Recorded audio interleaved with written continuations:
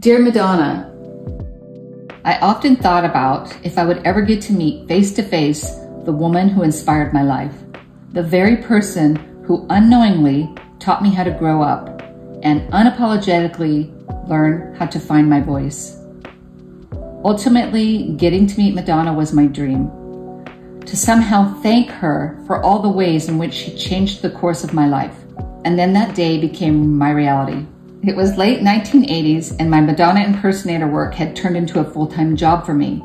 Hustling kids parties on the weekend and performing with the Pepsi Cola touring group allowed me to be constantly performing and refining my act.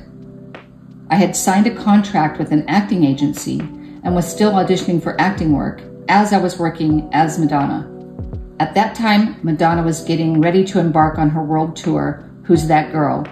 It was the buzz all around Hollywood that Madonna would hold auditions for dancers for her tour. I knew I had to somehow be at that audition and that this could be my way to meet my idol face to face. I did some research to find out names of tour directors and who was already set in place for her tour. I had reached out to her choreographer at the time, Jeffrey Hornaday.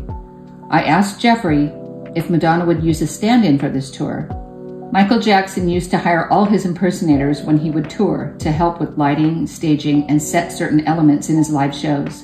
Jeffrey said he wasn't sure, but he suggested for me to come to the audition and audition as a dancer. And so um, we went to Debbie Reynolds Dance Studio. Um, there were so many dancers in that room. There were just lines of dancers. I think it was an open call from my memory.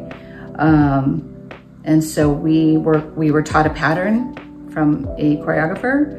And so I learned the dance and then I don't remember, I know Jeffrey was there, but I can't remember exactly who was actually watching and judging that audition, but um, I made it past that first, first audition. And so the second part of that was to be uh, later that afternoon and they were gonna actually bring in Madonna for that second half.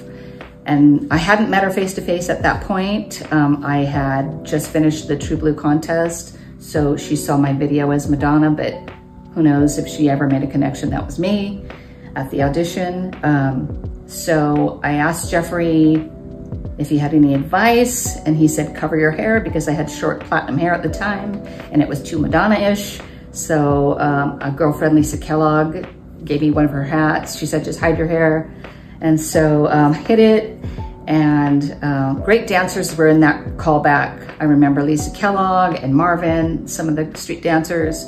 And um, so a couple hours later, they gave us each a number and um, just said, wait for your number to be called and come out and freestyle for Madonna. And so um, here she comes into the room and she's just glowing, effervescent, gorgeous woman. And um, no makeup, just casual. And so she sits behind this big table with Jeffrey and some other directors. And then everything just became like a blurry dream because I don't even know what happened. Um, I heard my number, everybody's looking at me because all my girlfriends and all my friends knew that, you know, I was an impersonator. They called my number and I just remember locking eyes with Madonna and just making sure she was watching me because she didn't watch everybody. So she was watching me and I was like, hell, what is happening here? So freestyle, dancing, probably going into some really jazz, kickball change, corny choreography. And, um, and so then I'm spinning and I'm doing a little chaîné and all of a sudden my hat flies off and then everybody in the room is like, and then I put it back on my head and I looked at Madonna. And I said, I'll dye my hair. If you pick me, I'll dye my hair. And I'm, i guess she didn't hear me because she looked at Jeffrey. She goes, what did she say? And who knows, whatever. So at that, after that audition, um, I believe it was the conversation where she was talking about um, a street dancer looking for the best street dancer in LA. Marvin had said to Madonna, that's Shabba-Doo. So that's how that thing came about. Marvin was absolutely right that Shabba-Doo was the best street dancer in LA. Adolfo Quiñones, aka Shabba-Doo, would not only become one of the three dancers on Madonna's tour, Shabba-Doo would be hired to work as the choreographer for the show. Shabba-Doo was somebody I deeply admired.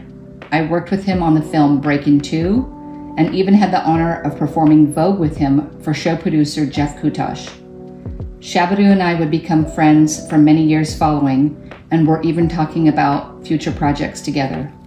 Okay, cool. So we'll work together on this and, and get the audition word out there and get some, some kid dancers. And uh, I'll tell you all the, well, we're, we're writing the treatment. So when the treatment is ready, you and I put our heads together about uh, the casting.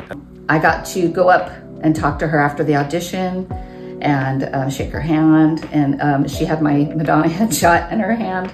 And I was like, I thank you so much for allowing me to be here. And if you do use a stand-in for anything, I would love to be considered for that. And she said, thank you very much.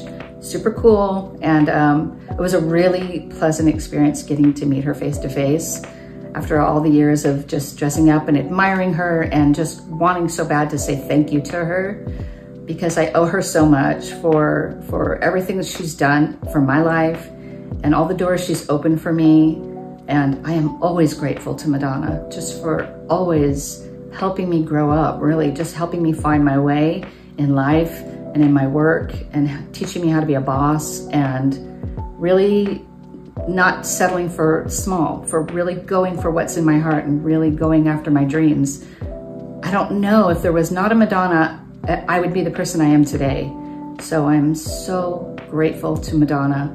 She continues, you know, 40 years later, she continues to just show me how to be in the world and how to be as a woman and how to be as an aging woman. So thank you to Madonna always.